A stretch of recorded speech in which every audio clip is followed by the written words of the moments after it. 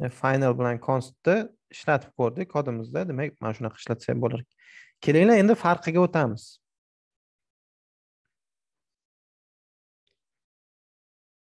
Mana finalda bitta name bor. Peter degan masalan nomlaganmiz. И konstantada boya misol keltirdik. Bitta p degan son bor. Uch butun yuzdan o'n to'rt qabul qilingan. Bu konstanta o'zgarmas son.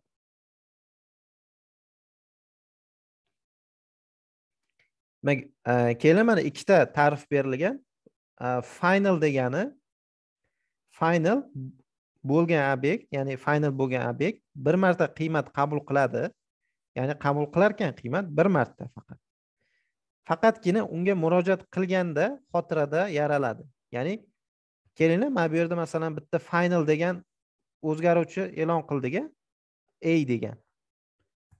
И masalan mana shuni a biz ishlatmasak mana shu qayerda ishlatmadik ya'ni ega murojaat qilmadik biz. Bu xotiradan joy egallamas ekan. Biz bilamiz e, demak qandaydir qancha ko'p o'zgaruvchi qancha ko'p field fieldimiz bo'lsa demak o'shancha ko'p xotiradan joy egallaydi bu. Ya'ni tipiga qarab. Masalan finalda shunaqa xususiyat bor ekan. Agar unga teginmasangiz masalan e'lon qilib yozib qo'ydik biz qiymatni. Unga teginmasangiz xotirada ishlamas ekan yana xotiradan joy egallamas ekan bizda. Masalan u bir bir bayt oladimi ikki bayt oladimi? Yoki necha bit oladimi? O'sha xotiradan joy egallamas ekan.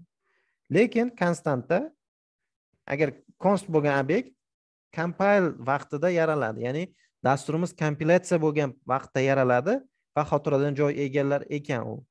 Keyin compile time nima o'zi? Bizda ikkita narsa bor. Umuman dasturlash sohasida ikkita tushuncha bor asosiy. Bu compile time va run time. Tushunarli? Compile time va run time degan tushuncha bor ekan. Nima degani? Compile compile time degani ya'ni kompilyatsiya vaqti degani. Biz mana bu knopkani bosdik hozir qo'yib yuborganim yo'q. Mana bosdim necha qanchadir vaqt o'tyapti to'g'rimi? Qanchadir vaqt o'tyapti. Mana и qaytadan qiymatni berdi. Qaytadan konsolga bir marta o'chib yondi ishladi to'g'rimi? O'sha qanchadir vaqt o'tyapti degani o'sha narsa compile time ya'ni kompilyatsiya bo'layotgan vaqti. Kompilyatsiya nima degani o'zi? Biz kod yozdik to'g'rimi? Kod yozdik. Bu nima qiladi? Bu kodni demak hozir dart tilidagi kodni mashina tiliga o'tkazadi. Ya'ni mashina tili qanaqa til edi? Mashina til e, ya'ni mashina degani hozirgi kompyuterimiz bu bunaqa kodlarni tushunmaydi to'g'rimi? Final nima a nima? U faqatgina ikkilik sanoq sistemasida ishlaydi. Ya'ni nol va birlardan iboratda. Ya'ni kompyuter faqatgina nol bilan birni taniydi. Shunaqa. Faqatgina nol va bir birlar bilan ishlaydi. Ya'ni mashina o'zimizni o'zimizni tilimizdan bu уже odamlar tiliga yaqin bo'lgan tilda. Ya'ni e, dasturlash tillarini ham o'zi kategoriyalari bor ediku ya'ni high level e, language deydi yoki low level language deydi. High level language degani уже Э, mashina tilidan uzoqlashgan languageda. Demak mashina tilidan uzoqlashgan lekin odam tiliga yaqinlashgan tilda. Ya'ni mana bu final nima o'zi? Ma'nosidan bilib turibmiz final degani ya'ni oxirgi so'nggi degani to'g'rimi? Yoki cons degani konstanta nimaligini bilib turibmiz. Yoki print degani o'zi to'g'ridan to'g'ri bilib turibmiz. Ingliz tilidan olingan print ya'ni chop etish. Ya'ni odam tiliga yaqinlashyapti lekin e, ya'ni kompyuter tilidan uzoqlashgan mashina tilidan uzoqlashgan tillar high level language deyilar ekan. High level language. Ya'ni low level languagelar bor. Masalan aynan qaysiligiga hozir misol keltira olmayman faraz qilaylik hammamiz c plyus plyus tilini o'rganganmiz unda bundan ko'ra ko'proq kod yoziladida yoki pythonni olaylik. Pythonni o'zi hech narsa kerak emas u yerda. Shunchaki masalan print degan nimadir yozsangiz print qilib o'sha narsani chop qilib beradi. Ya'ni biz hozir nimadirlar yozyapmizku? Ya'ni printda qanaqadir qavs yozyapmiz yoki main deb nimadir yozyapmiz pythonda уже umuman уже so'nggi tillardan bo'lgani uchun deyarli kod bir qator kod bilan nimadir natijaga erishasizda. Hozir biz uch qator kod yozayotgan e, bo'lsak. Ho'p. Demak compile degani bizni yozgan kodimizni mashina tiliga o'girib kompilyatsiya qilib natijasini chiqarguncha ketgan vaqt compile time ekan. Tushunarli? Kompilyatsiya vaqti. Kodimizni demak analiz qilib chiqib e, demak dartni o'zini ham e, dart mashinasi bor dart virtual machine degan narsa bor. E, o'sha virtual mashinada o'sha kodimizni kompilyatsiya qilib ya'ni natijaga olib kelguncha bo'lgan vaqt bu kompilyatsiya vaqti ekan. A runtime nima? Runtime degani dasturimiz ishga tushdi va u qanchalik vaqtdan keyin tugadi to'g'rimi? Masalan dasturimiz ishga tushib bo'lgandan keyin nechadir sekundda nechadir millisekundda mana shu narsani chop qilib berdi to'g'rimi? Mana shu narsa runtime deyiladi.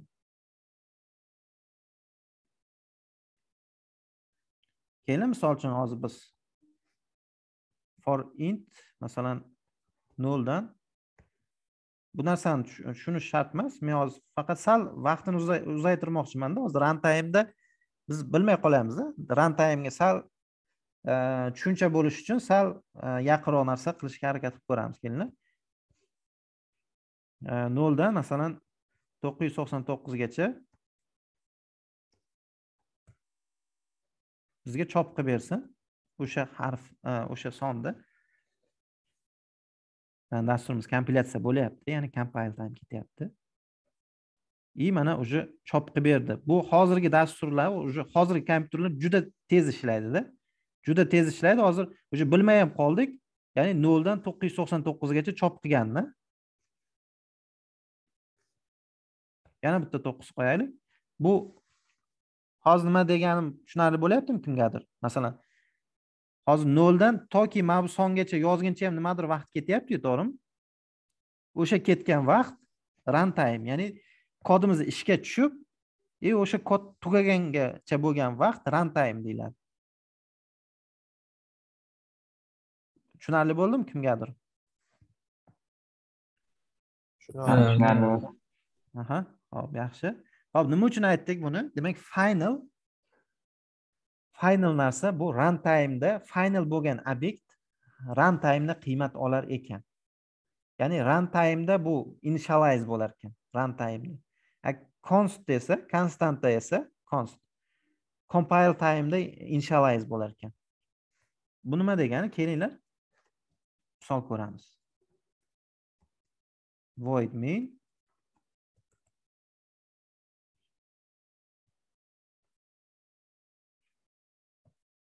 hop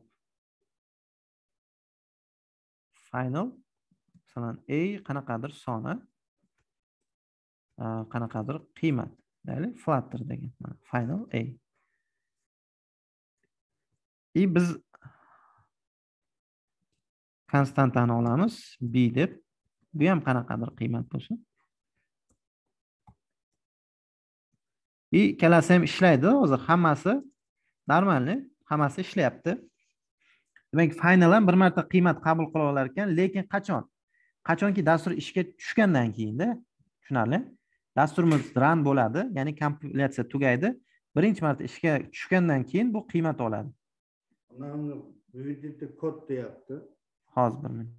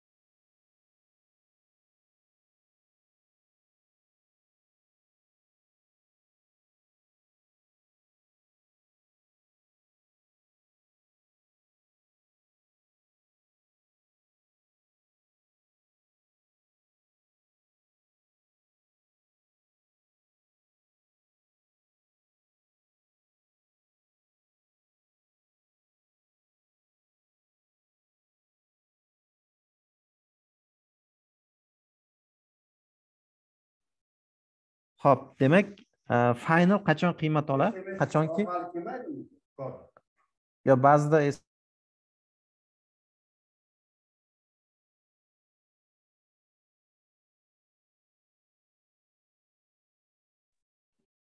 ho'p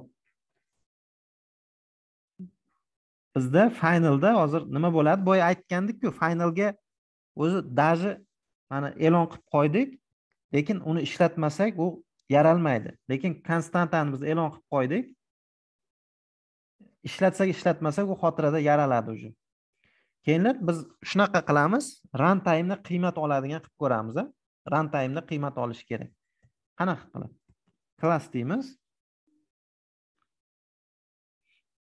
Bitta klass yarataylik. My class. String name bor. Xo'p.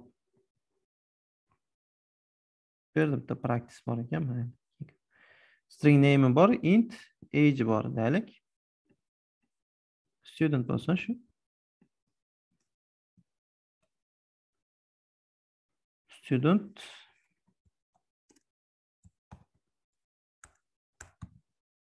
Bu hozir yozayotgan kodimizda hech kim tushunishi shart emas. Hozir bizga kerakli bo'lgan joyini aytib o'taman.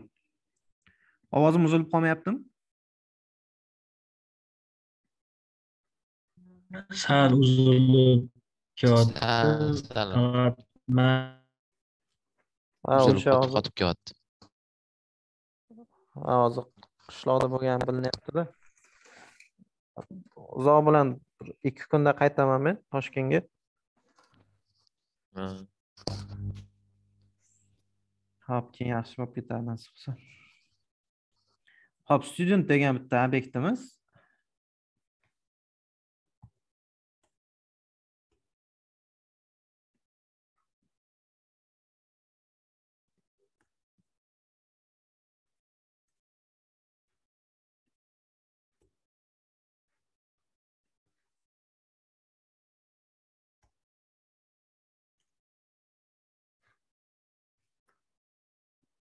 Mana men nima qildim? Klass deb yozib qo'ydim. Bitta klass. Klasslar shunaqa xususiyatga ega, ya'ni dasturimiz ishga tushgandan keyin u yaraladida. Ya'ni man student degan bitta obyekt yaratmoqchiman. Dastur ishga tushgandan keyin uni qiymati ma'lum bo'ladida. Ya'ni xotiradan qayerdandir qiymat egallab, uni qiymati dastur ishga tushganda, ya'ni run time'da aniq bo'ladi uni qiymati. Hozir bu mavhum narsada, ya'ni bu obyekt yaratilmagan hali. bitta student degan obyektimiz hali yaratmoqchimiz yaratilmagan. Ya'ni dastur bir marta ishga tushadi keyin yaraladi u. Mana уже ko'ryapmiz a finalda bu normali chunki final runtime'da qiymat oladi deb kelishdik boya. Lekin konstantada qizarib turibdi ya'ni konstantada xato beryapti. Ya'ni const variables must not be initialized. Must be must be initialized. Ya'ni initialize bo'lishi majburiy. Ingliz tilini bilamiz a must be degani majburiy qilinishi kerak shart degan ma'noni anglatadi to'g'rimi? Bizda initialize qilinishi kerak lekin bu qachon initialize bo'ladi? Student degan obyektimiz faqatgina ran qilganimizda initialize bo'la oladida. O'sha uchun konstanta bizda hozir compile time'da olishi kerak edi u ya'ni kompilyatsiya уже dastur ishga tushib bo'lmasdan oldin qiymat olishi kerak u konstanta lekin biz bu student obyekti qachon yaraladi? Run time'da yaraladi. Ya'ni dastur ishga tushgandan keyin уже run bo'lib turgan payti xotiradan qayerdandir joy egallaydi unga bitta xotira adresi beriladi unga qiymat beriladi va u уже mavjud bo'ladi. Hozir lekin bizda mavjud emas u. Ya'ni hali run bo'lgani yo'q dasturimiz. Tushunarli konstantaga biz run time'da qiymat oladigan obyekt bera olmas ekanmiz. Tushunarli? Lekin qanaqadir biz mana bunaqa student berib qo'ysak bo'ladi. Shunchaki string. Buni уже qiymati aniqda уже qiymati aniq. Student degan qiymati bor buni.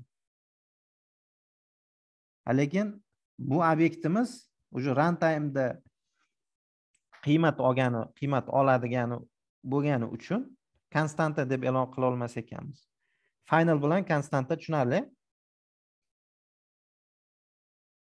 Kelinglar yana boshidan sanab o'tamiz. Final bu runtime'ni qiymat oladigan va unga agar murojaat qilmasak xotiradan joy olmas ekan. Ya'ni xotiradan yaralmas ekan agar murojaat qilmasak. Unga qachon murojaat qilamiz? Runtime'da murojaat qilamiz to'g'rimi? Dasturimiz ishlab turibdi. Qaysi holatda murojaat qilamiz unga to'g'rimi? Masalan faraz qilaylik. Biz har doim hamma dasturimizda masalan ob havo ma'lumotini bilmoqchimiz to'g'rimi? Ob havoni qachon bilmoqchimiz? Qachonki nimadir knopkani bossak ob havoga запрос ketadi. Ob havoni serveridan bizga qanaqadir данныйlar keladi to'g'rimi? O'sha narsani final deb qo'ysak bo'ladi. И o'sha ob havo ob havo ma'lumotlarini yig'ib turadigan obyektimiz final bo'la oladi. Va toki biz o'sha knopkani bosmagunimizcha u qiymat olmaydi va xotiradan joy olmaydi.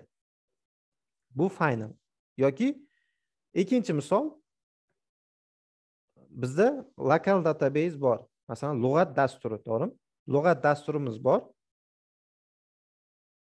U e, internetsiz ishlaydi. Lug'at dasturimiz bor. E, Databasega bir marta murojaat qilamiz va uni olib kelamiz biz. Mana shu narsa final bo'la oladi. Bir marta olib kelgandan keyin set qilib qo'yiladi. Ya'ni finalda final bir marta qiymat oladiku. И yana bitta narsa bor. Masalan finalda men qiymat bermayman.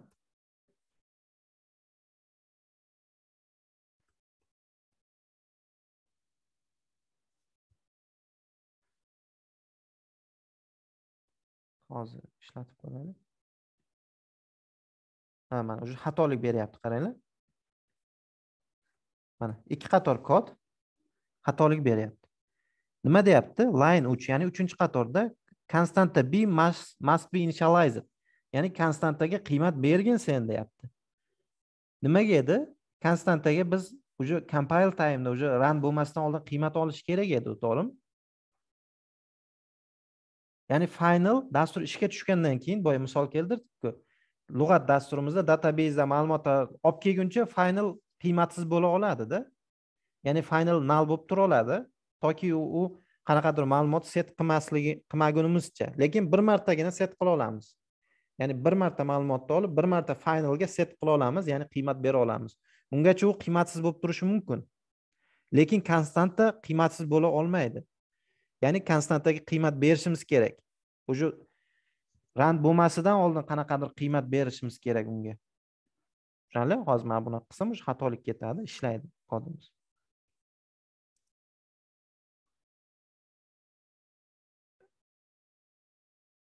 kim tushundi hozir shu yergacha?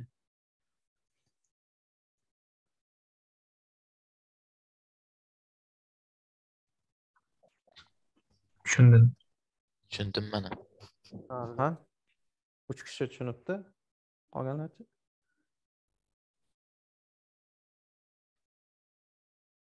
hamma tushundimi? Yoki mana hop birdan уже qanaqa? Birdan fikr qilib birdan qabul qilib olish qiyin bo'lishi mumkin. O'sha paytda hozir mana qanaqadir savollar tug'ilyaptiku hozir beraveringlar mana shu narsani. Hozir savol berish mumkin. И hozir berganim o'sha bilimlarni mustahkamlash uchun eng zo'r vaqtda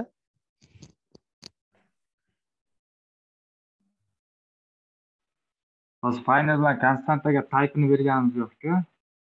Nima bermadik? Type int yoki string ha ha. biz aytdik yozib qo'ysak ham bo'ladi uni? Mana. Yozmasak ham bo'lar ekanda qiymat olib ketaverar ekan o'zi boyga varga o'xshagan narsa aha. Agar yozsanglar qanchadir tezlikni oshirmaydimi? Ishlash tezligini. Yo'q yo'q. Chunki bu nima uchun? Bu уже compile timeda hal bo'ladigan narsada dasturingiz ishga tushguncha hal bo'ladigan narsada bu.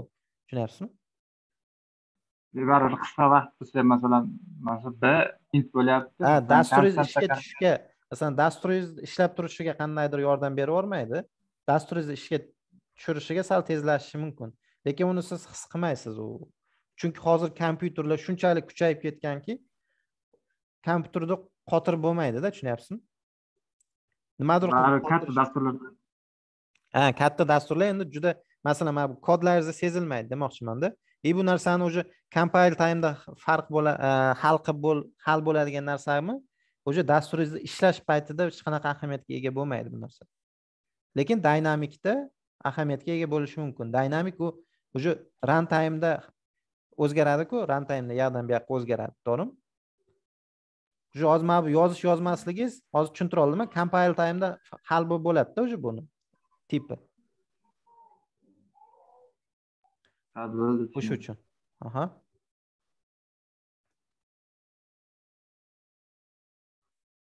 Lekin masalan aniq bo'lsa yozib ketsa ham bo'ladi. Masalan men mana bunaqa yozishga odatlanganman. Nimadir qiymat bo'lsa shuni yozaman. Siz man so'rayapsizku. Masalan чисто masalan ishda mana bu narsa yoziladi lekin nimagaligini bilmayman. Shunaqa odatlanganman. Tipi aniq bo'lsa yozib ketaman har doim.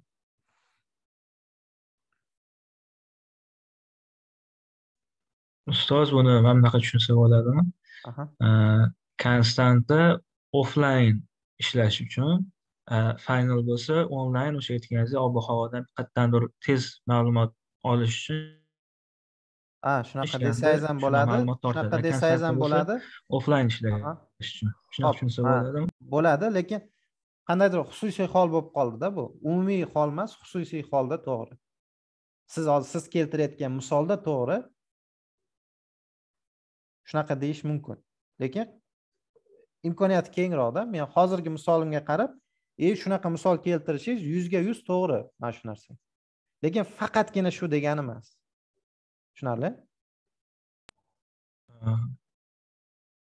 shunaqa deyish mumkin lekin to'g'ri xato bo'lmaydi.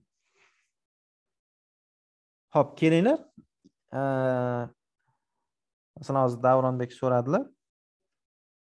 Sizlar konstantalar qachon ishlatiladi o'zi? Konstantalar. Masalan server bilan ishlaganimizda biz bitta endpoint bilan ishlaymizda to'g'rimi? Masalan daryo application qilyapmizmi? Qanaqa boshlanadi? daryo nuqta uz deb boshlanadi. To'g'rimi? И masalan qayergadir kirsak mana faqat mana shu daryo uz turaveradida to'g'rimi? Texnologiyalarga kirayman daryo uz turaveradi to'g'rimi? Qaysidir yana bitta qaysidir newsga kirdim. Daryo uz o'zgarmayapti to'g'rimi? Mana shu narsa. И realniy dasturda ham masalan application qilganimizda ham mana shu narsani biz konstanta deb saqlaymiz. String bu base url deyiladi. Base url mana bunaqa deb saqlab qo'yiladi. Bu realniy application mana shunaqa ishlatiladi. Tushunarli? Yoki faraz qilaylik qanaqadir kiylar bo'lishi mumkin key. Masalan webda e, routlar bor a rout. Mana bu narsa ham o'zi routda.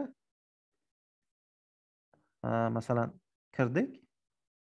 Masalan mahalliyga kirdim. Kategoriya degan slash kategoriya degan bitta routi ya'ni bitta yo'li. Ho'p masalan mahalliy ham bitta yo'lida mahalliy bor. Masalan avtoga kirsam kategoriya mana bu yerda turibdi kategoriya avto o'zgaryapti. Bu yerga fotoga kirsam kategoriya turadi mana bu yer fotoga o'zgaradi. To'g'rimi? Mana. Routlar ya'ni mana shu narsa shular ham konstanta deb saqlab qo'yiladi. Misol uchunda string masalan foto. Masalan road foto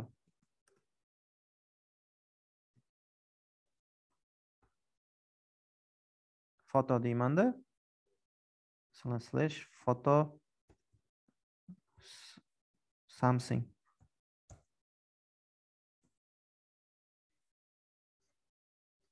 И buni nima uchun bunaqa qilib qo'yiladi? Har safar mana shuni o'zini yozsa bo'lmaydimi to'g'rimi? Bu narsa nimaga kerak?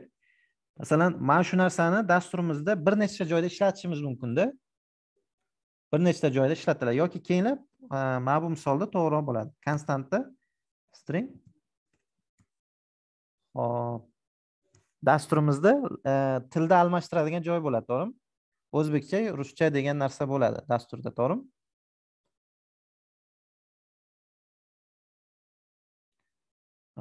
Ho'p.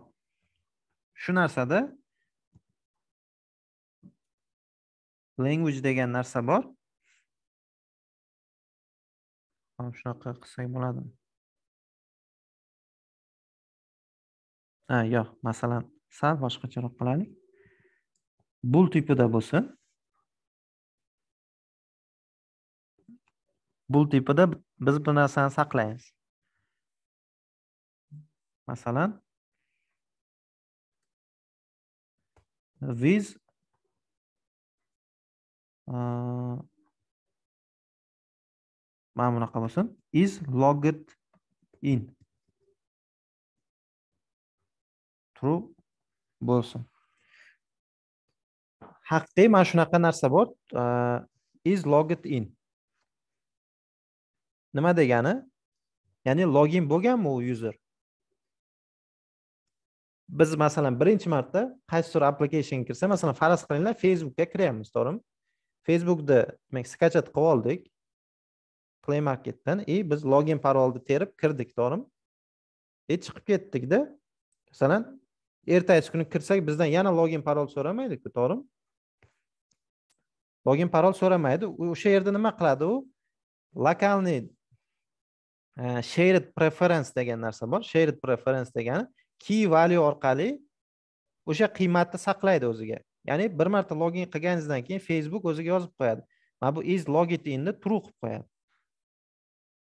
И biz yana log out qilib yubordik ya'ni chiqib ketdik dasturdan nima qiladi u? Log out bosganingizdan keyin agar seni sizdan so'raydi haqiqatdan ham chiqmoqchimisan ha desangiz u log out qilib yuboradi. O'sha payt is logit in degan narsani false qilib qo'yadi.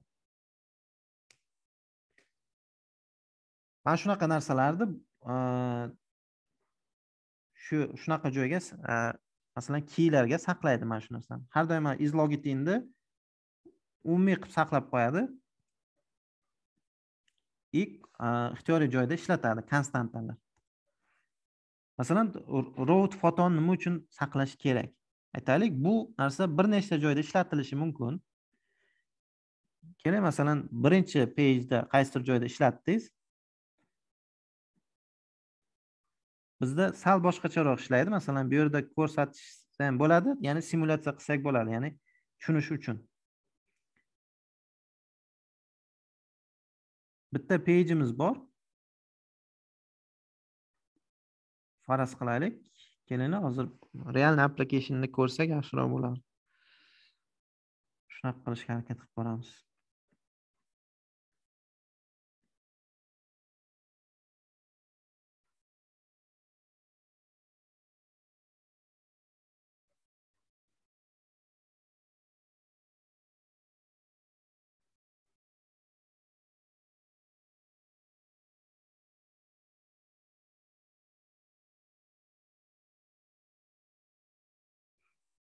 yoz hozir bu yerda ko'risham bo'lmasa. Mayli qaranglar. Mana bu road fotoni ya'ni ixtiyoriy pejdan o'tishimiz mumkinda. To'g'rimi? Biz masalan e, mahalliy degan joyda turibmiz.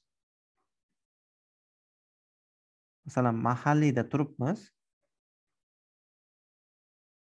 И mana e, bu yerga kirdik. Qayerdandir mana bu yerda bosganimizda biz e, faraz qilaylik foto degan joyga o'tishimiz kerak to'g'rimi? Biz nima qilamiz shunda? Masalan foto samsungga e, urlga o'shanga o'tgin deb rout beramiz unga. Realni shunaqa ishlaydi masalan e, flutterda o'zida. Biz rout beramiz o'sha fotoga o'tgin deb. Yoki biz qayerdadir turibmiz? Masalan eng ko'p o'qilganlarni ichida turibmiz. И biz yana fotoga o'tmoqchimiz. Biz yana aytamiz o'sha rout fotoga o'tgin deb. Ya'ni e, bir nechta joyda masalan o'nta joyda biz rout fotoga o'tishimiz kerak. Ya'ni road fotoga ixtiyoriy pejdan o'tib kelishimiz mumkinda. O'shanda biz har safar mana buni yozayotmaymiz. И keyin ehtimoli kattaki qayerdadir mana bunaqa yozilib ketishigada tushunarli? Ehtimoli katta. Eng ko'p uchraydigan narsa mana shuda. И eng yomoni xatolik ham bermaydida. Xatolik beradi. Nima deydi? Foto mana bu samsung topilmadi deydi. Ikkimiz o'tiraylik nimaga topilmaydi? Chunki men boshqa pejda shuni ishlatdimku. Ya'ni fotoga o'tyaptiku. Foto samsungga o'tyaptiku deymiz. Lekin qaysidir pejdan foto samsungga o'tmoqchi bo'lsak topilmadiku deydi. Siz o'qiysiz xatoni ya'ni foto samsung deb o'qib ketaverasizda. E'tibor bermas bermaymizki foto bu yerda samsung emas samhing bo'lib qolgan. Tushunarli? O'shanaqa holda mana bunaqa ishlatish qulayda. Bitta fayl ochasiz и konstantalarni shunday tiqib qo'yasiz и ixtiyoriy joyda nima qilasiz? Road foto deysiz bo'ldi. Tushunarli? Road foto deysiz bittada ishlaydi u. Tushunarli? Konstanta qilib qayerda ishlatishimiz mumkin? Realniy applicationlarda.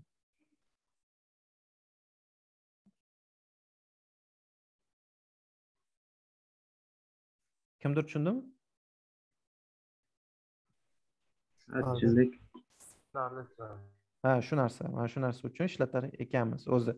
Realniy misolda mana shu narsa shunda ko'proq eng ko'p ishlatiladigan mana shu narsa.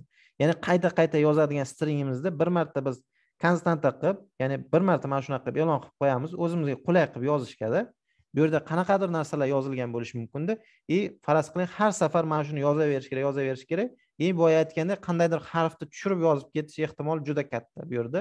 И boya aytgandek xato ham bermay xato berganda ham shuni o'zini chiqarib turaveradi mana shu topilmadi deb.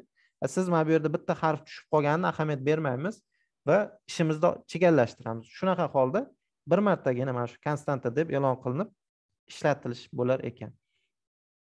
Endi final. Final qachon?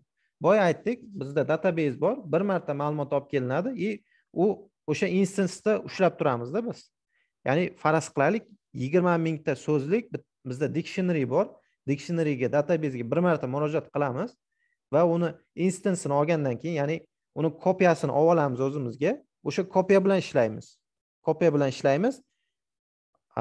O'shani o'shani final deb olishimiz mumkinda biz. Ya'ni yoki bunaqa bitta userni oldik. User данныйsi serverdan kelyapti. Serverdan kelgandan keyin final qilib bitta set qilib qo'yamiz userni данныйsi kelgani uchun. И bir marta set bo'ladi. Tushunarli? Final уже run time'ni qiymati oladi degani mana shuni tushunish mumkin. И bu narsalar hozir qaysir qismi mavhum bo'lib turgan bo'lsa bizga xavotirga o'rin yo'q. Bu narsa aniqki demak flatterda ishlatamiz buni. Hozirgacha o'tilganlar tushunarli bo'ldi menimcha hammaga?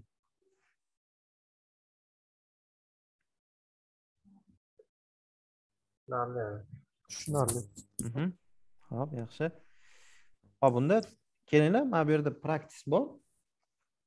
O'sha narsani hozirroq demak bu yerda masala ishlash ko'proq masala ishlashimiz kerak lekin bizda uncha murakkab degan murakkab bo'lgan masalalar yo'q. Chunki birinchi guruhda sal murakkablashtirgandik ko'pchilikda boyagi ruhiyati tushib ketib qoldida. Ruhiyati. Ya'ni menga emas ekan dasturlash. Qiyinlashib ketib qoldi. Bu narsa nimaga? Bu yerda to'qson foiz matematika o'ynaydida уже masala yechaman desangiz уже to'qson foiz matematikani bilishingiz kerak. Faqatgina yozish уже o'n foiz уже dasturlashga taalluqli narsada. Masalani murakkab qiyinligi faqat matematika уровеньda o'ynaydida dasturlashda o'sha o'sha kod. Bu yerda agar masalamiz oson bo'lsa u matematika masalamiz qiyin bo'lsa ham matematika dasturlash уровеньda ahamiyat deyarli yo'qda. O'sha uchun biz oddiy sodda masalalar ko'ramiz. Shuncha kod yozishga mashq qilish maqsad. Qiyinlashtirgan bilan kod yozishda hech qanaqa bizni уровеньimiz oshmaydi faqat matematika o'rganishimiz mumkin. A bizni maqsad esa demak kodni yaxshiroq o'rganishimiz uchun osonroq masalalardan ko'proq ishlaymiz. Shunda hamma uchun menimcha boyagi to'g'ri keladigan demak E, variant bo'ladi deb o'ylayman. Hop. Keling mana bu yerda yozilgan demak radiusi sakkiz santimetr bo'lgan doirani yuzini toping. E bu yerda ham faqat e, shu matematik e, umuman maktab уровеньda to'rtga o'qigan bo'lishimiz kerak masala ishlash uchun. Хотя бы radius doirani yuzini topish formulasini bilishimiz kerakda и bilmasak ham internetdan qidirib topib olish. Masalan ba'zida esdan chiqib ketadi уже maktab bitirganimizga yoki abituriyent bo'lib e, to'plam yechib yurganimizga ancha yil bo'lib ketdida to'g'rimi? Qaysidir masalalar e, qaysidir formula esdan chiqqan bo'lsa u qarab olish kerak и ishlab ketaverish kerak. Demak radius sakkiz santimetr bo'lgan doirani yuzini topib qo'yish kerak ekan. Doirani yuzini formulasi qanaqa edi?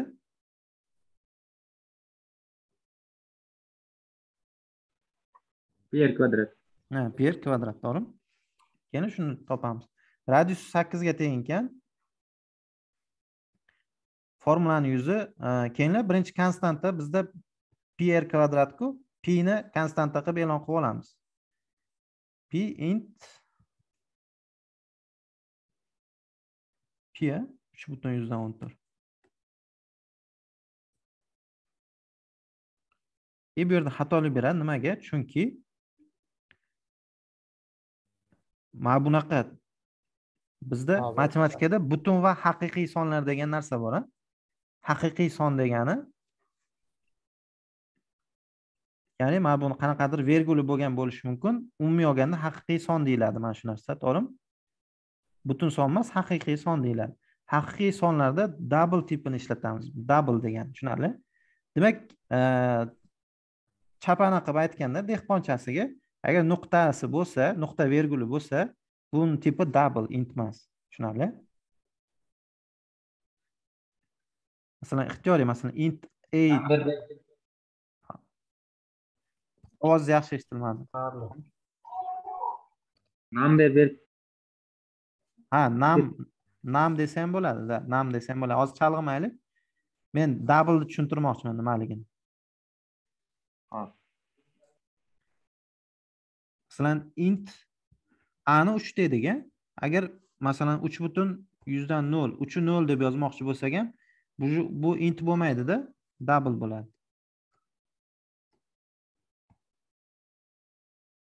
Tushunarli? Double degani e, demak mana bu nuqtasi bor. Son. biz masalan o'zimiz yozsak vergullik yozamizku. Bu dasturlashda ya'ni nuqta bilan yozilar ekan o'sha narsa.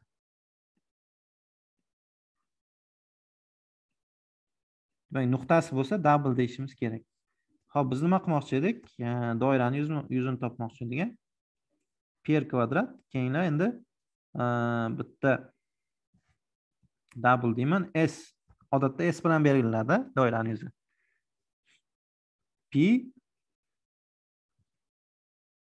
ko'paytiramiz r kvadratni mana bunaqa yozsa bo'ladi. R ko'paytiruv r. va e, э, men formulani yozib oldim. Va s ni chop qilyapmiz. Bu yerda nima qiladi? P ni oladi. P ni qo'yadi joyiga r ni oladi. R ni joyiga qo'yadi. Mana r r qo'yadi. Va s ni biz chiqarib beramiz. Ikki yuz butun yuzdan to'qson olti ekan. Demak a birligi bu. Mana bu nima? Birlikda berilgan bo'lsa o'sha birlikda. Shu.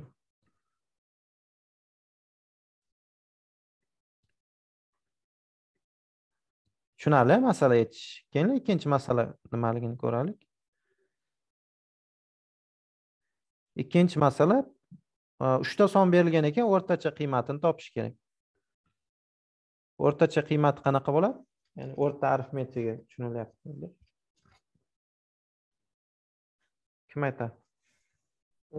Sonni nechta e, nechta son bo'lsa o'shani masalan o'n o'nta sonni e, qo'shib o'sha o'nga bo'lib qo'yish kerak bo'ladi. Ha o'shalar soniga bo'lish kerak to'g'rimi? O'sha nechta son bo'lsa bizda mana bunaqa qilamiz. Xohlasak bitta mana bunaqa qilsak ham bo'ladi. Int result deymiz. Resultda nima bo'ladi? E a qo'shilgan b qo'shilgan s.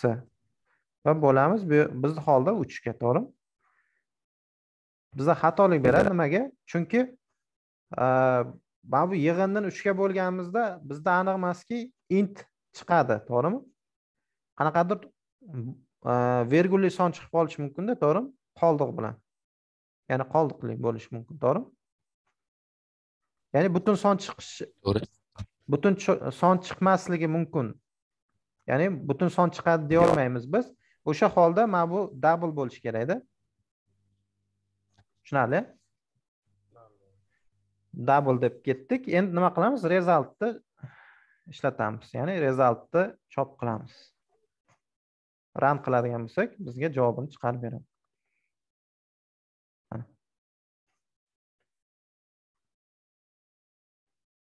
Tushunarli? Demak masala kelsa qanaqa yechishimiz kerak?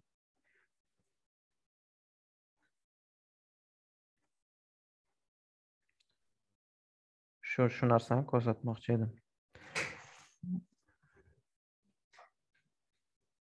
Demak e, bugungi mavzumiz shular edi. Hozircha e, tugadi bugungi darsimiz. Men uyga vazifaga beshta masala beriladi. Mana shu beshta masalani yechishimiz kerak bo'ladi. Men birinchisi tomonlari mos ravishda yigirma va o'n to'qqiz bo'lgan to'g'ri to'rtburchakning perimetri va yuzini topish kerak. Topa olamiz a perimetrini formulasini bilamiz. Yuzani formulasini bilamiz to'g'rimi? Ikkinchisi berilgan sonni o'rtacha qiymatini topish kerak. Boya xuddi shunaqa. Tushunarlimi? Men hamma masala tushunarlimi shu yer- shu yerda?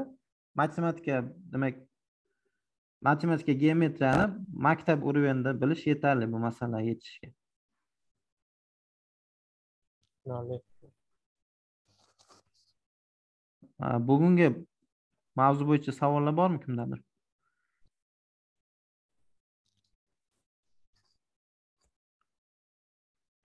savollar bo'lmasa hozircha tugatamiz. Uyga vazifa mana shu bo'ladi